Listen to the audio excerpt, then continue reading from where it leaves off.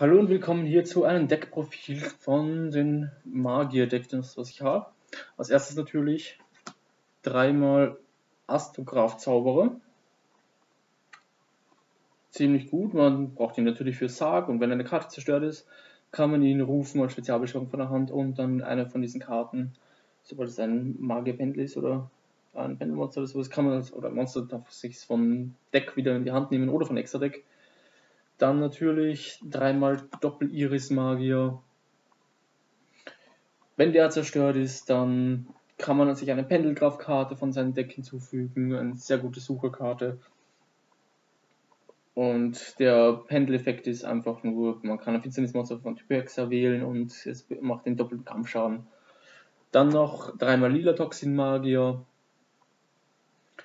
Ähm, Lila Toximagier ist, wenn der zerstört wird, dann darf ich eine offene Karte auf dem Spielfeld wählen, zerstören.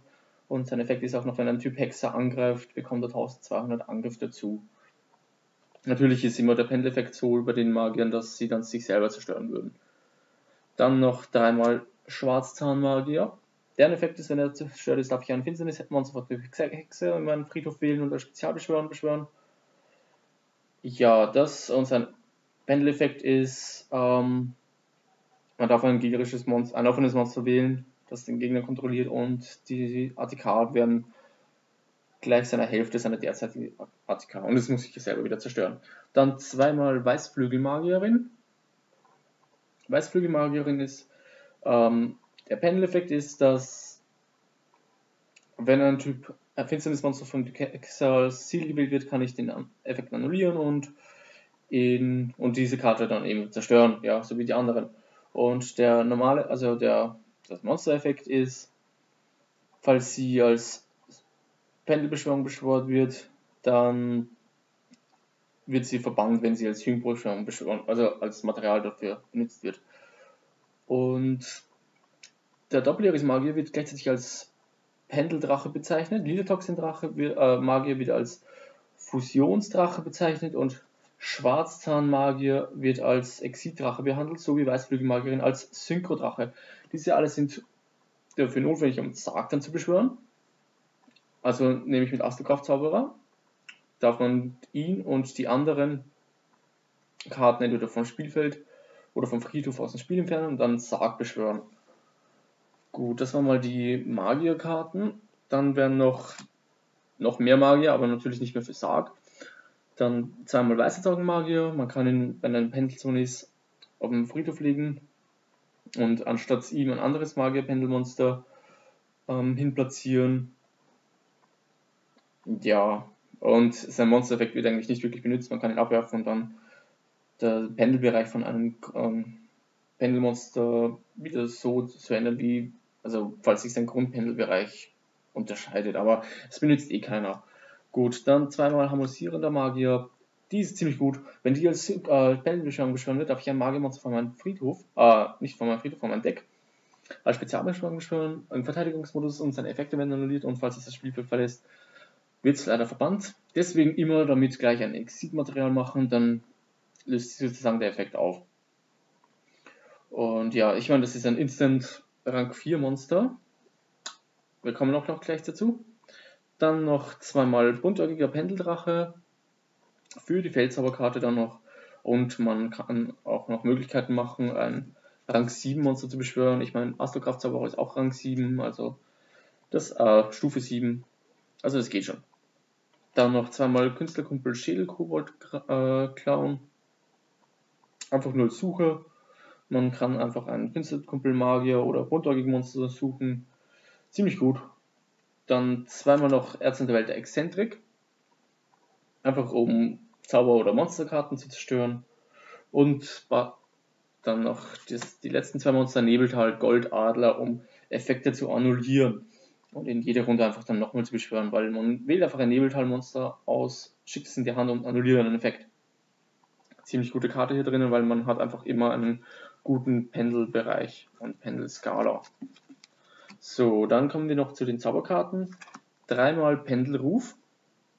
Eine Karte abwerfen, zwei Magiermonster, zwei Magier-Pendelmonster von meinem Deck in meiner Hand und meine Pendelskalen können nicht zerstört werden. Also die, Magier, die in der Pendelzone liegenden Monstern können bis zu Ende des nächsten, des, bis zu Ende des ähm, Zuges vom Gegner nicht zerstört werden. Ziemlich gute Combo, weil ja die ganzen Magier-Monster sich selber zerstören würden und Pendelruf verhindert das dann eben. Dann noch zweimal Stern Pendelgraf mit Iris Magier suchbar. Und ja, immer wenn ein Magier-Monster, Pendelmonster von meiner Pendelzone oder von meiner Monsterzone, Main-Monsterzone, das Spielfeld verlässt, darf ich ein anderes Magier-Pendelmonster von meinem Deck in meine Hand hinzufügen. Dann noch Himmelsiris, ganz klar, einfach nur eine Karte von, eine, eine Karte von mir zerstören und man darf sich einen Buntergi-Künstlerkumpel. Also nein, man kann sich dann einen Buntergi-Karte von meinem Deck hinzufügen und Magier, Künstlerkumpel und Buntergi-Karten in meiner Pendelzone können nicht als Ziel gewählt werden. Landformen, ganz klar für Himmelsiris zu suchen, dann einmal Duellantenallianz, ich habe nicht mehr davon leider. Und ja, falls ich eine Karte in meiner Pendelzone liegen habe, kann ich mir einen Pendel, Pendelmonster oder Pendelzauber auf Ankarte von meinem Deck hinzufügen in meiner Hand. Und ich kann es nur einmal aktivieren, ist eh klar. Dann noch einmal buntäugige Fusion. Buntäugige Fusion ist einfach, falls ich keine Monster habe, der Gegner schon, kann ich ein Fusionsmonster beschwören und Monster von meinem Extra-Deck auch benutzen. Das ist sehr gut. Später dazu dann noch. Dann noch Instant-Fusion, da kommen wir auch noch später dazu. Ich darf einfach ein Monster der Stufe 5 oder niedriger Spezialbeschwörung beschwören. Manche wissen es vielleicht schon, was dann kommt, aber erst später dazu, wie gesagt. So, die Zauberkarten weg und dann noch zu den Fallkarten. Ich habe nur dreimal Zeitpendelgraf drinnen. Natürlich kann man eines weniger machen und eine andere reingeben, zum Beispiel Ernste Warnung oder Feierlicher Schlag oder sowas. Ich finde es dreimal ist gut, weil der Gegner kann sie leicht zerstören. Und sie sind sehr gut in der Kombination mit, ähm, mit den anderen Karten wie Pendelruf und dann noch ein Exit-Monster. Und zwar der Effekt ist, ich kann ein Monster von mir wählen. Also ein Monster von Typ Hexe, was ich kontrolliere. Also nein, warte. Mein Gegner kann zuerst mal Typ Hexe-Monster nicht mit Quallenkarten ins Ziel wählen. Das habe ich da ganz vergessen. Bei Sternpendelgraf, da kann er sie nämlich nicht als, für Zauberkarten als Ziel wählen. Und der Effekt ist auch noch, ähm, ich kann den Effekt dann nur einmal aktivieren pro Spielzug, ist sehr klar. Und ich kann eine Magier Pendelmonster Karte in meiner Monster- oder Pendelzone und eine Karte, die den Gegner kontrolliert, wählen und sie zerstören. Dann, falls dieser Effekt nicht zwei Karten zerstört hat, kannst du eine Karte vom Spielfeld auf den Friedhof legen. liegen. Es zielt nicht an. Das ist sehr gut, weil ich wähle ein Magiermonster von mir. In meiner Pendelskala oder Monsterzone würde es zerstören. Durch Pendelruf würde es aber nicht zerstört. Wähle aber noch eine andere Karte von meinem Gegner, zerstöre das. So, dann hat mal der Gegner eine Karte weniger. Meine Karte bleibt, dann kommt der zweite Effekt, weil wenn nicht zwei, alle beide zerstört werden, kann ich eine Karte vom Gegner auf den Friedhof legen. Somit verliert der Gegner gleich schon mal zwei Karten und ich überhaupt nichts. Und kann das jede Runde einsetzen. Also ich meine, das ist schon sehr gut. Nun zu den extra Deck-Monster-Karten. Zeitstern Magier. Der Effekt, also man braucht zwei Magier-Pendelmonster der Stufe 4 für ihn. Dann ist der Effekt, man kann ein Material entfernen und ein, ein Monster von Typ Hexer von meinem Deck in meine Hand holen und falls ein Pendelmonster zerstört werden würde, kann ich stattdessen ein kann ich stattdessen ein Monster von Typexa von meinem Deck auf den Friedhof legen. Also ich kann die ganzen Magierkarten, die ich für Zarg brauche, auf den Friedhof legen damit und gleichzeitig auch noch ein Material davon. Also das ist ein, eine sehr schnelle Kombination, um die ganzen Magier in den Friedhof zu bekommen. Problematisch ist natürlich, wenn der Gegner sie dann aus dem Spiel entfernt. Gut, das wäre mal das. Natürlich oberster König Sarg, weil ohne den sind die Magier ein bisschen nicht schwach. Sie sind sehr, sehr gut ohne Sarg. Aber Sarg ist natürlich seine Trumpfkarte. Er zerstört alle Karten, wenn er beschwört wird vom Gegner. Dann kann er nicht durch Karteneffekte zerstört werden und er kann sie nicht als Ziel für Karteneffekte wählen. Und ja gut, der nächste, der andere Teil des Effekts kann ich hier nicht aktivieren, weil dann bräuchte ich dann die obersten Königdrachen. Ähm, die Pendelmonster bzw. die Tore habe ich aber hier nicht drinnen. Ich wollte nur ein Magier-Deck machen. Wenn aber die zerstört ist, kann ich sie in meinen Pendelbereich reinlegen. Und da ist der Effekt, dass die Effekte von Fusionssynchro und Exit-Monster, die das den Gegner kontrolliert, können nicht aktiviert werden. Und einmal pro Spielzug, wenn der Gegner seiner Hand eine oder mehr Karten von seinem Deck hinzufügt, außer während seiner Draw ist oder der Damage Step, ich kann diese Karten zerstören. Sehr gut eigentlich. Und er hat 4000 Angriff und 4000 Verteidigung. Das ist sehr gut. Weil selbst wenn er in Verteidigung ist, hat er noch immer die größere Durchschlagkraft. Nicht mal ein Chaos Max Drache kann ihn da irgendwas antun, wenn er Verteidigung ist. Pendelskala 1 natürlich. Ja, man könnte ihn auch eigentlich mit ähm, Spiegel des Drachen fusionieren. Weil er braucht vier Monster von Typ Drache, ein Fusionssynchro, Exit und ein Pendelmonster. Gut, dann haben wir noch Oberster König Drache Hungergift. Da ist die Kombination dann sehr gut. Später dazu noch mit Instant Fusion. Aber das Monster kommt erst. So, der Effekt von dem ist, er kann als Spezialbeschwörung beschwört werden, indem man einfach nur zwei Finsternis-Pendelmonster von einem Spielfeld auf dem Friedhof, also als Tribut anbietet, kann man ihn auch als Spezialbeschwörung beschwören. Oder man macht ihn als normale Fusionsbeschwörung. Dann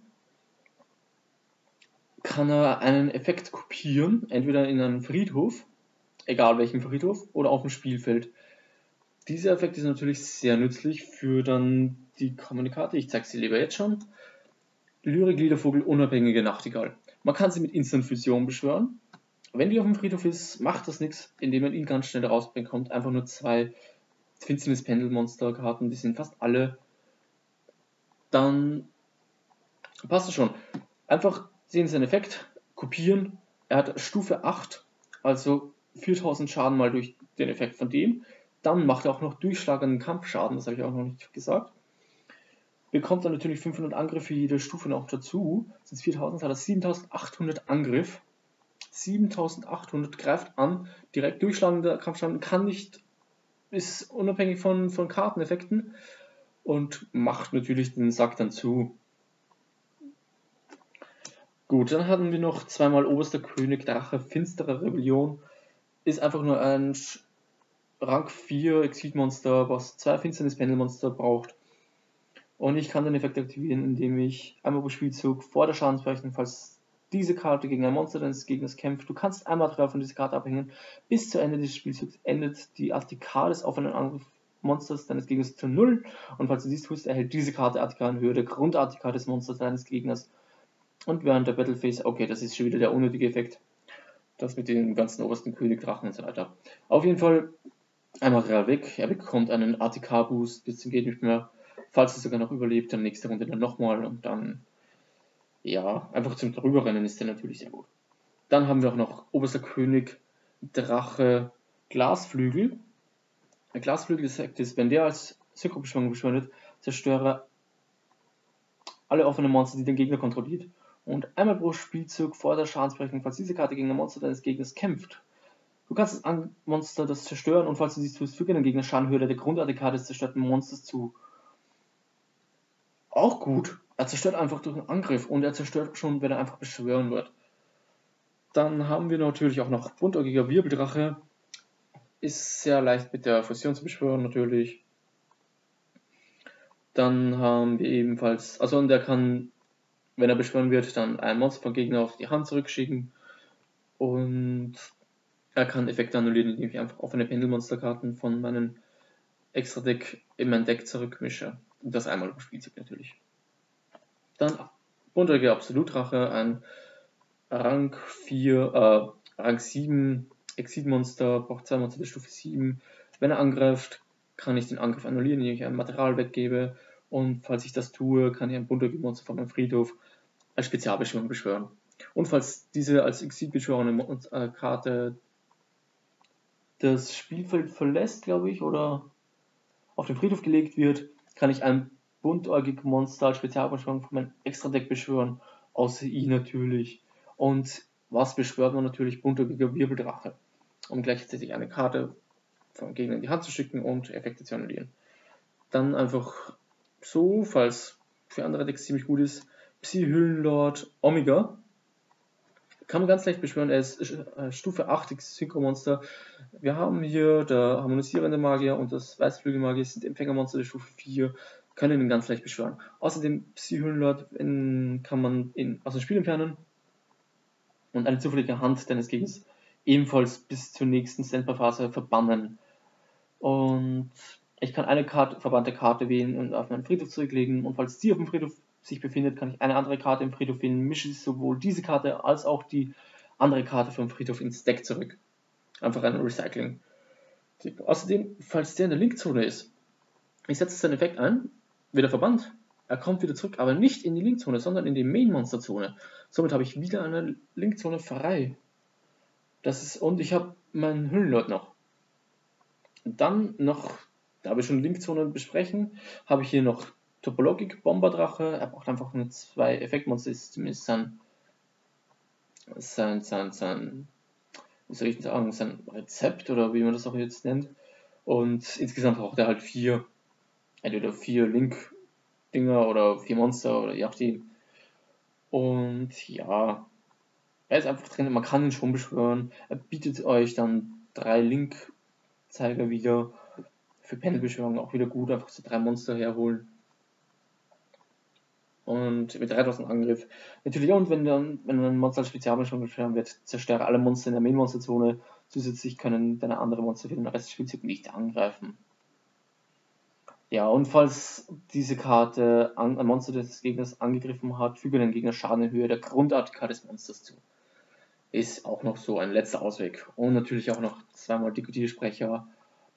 Zwei Effektmonster braucht er, es liegt drei, also drei bräuchte er mindestens hier in diesem Deck. Er bekommt 500 ATK für jedes Monster, das aufs, auf sie zeigt.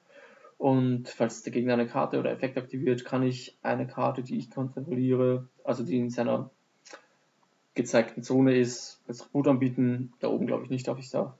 Und die Aktivierung annullieren und die Karte zerstören.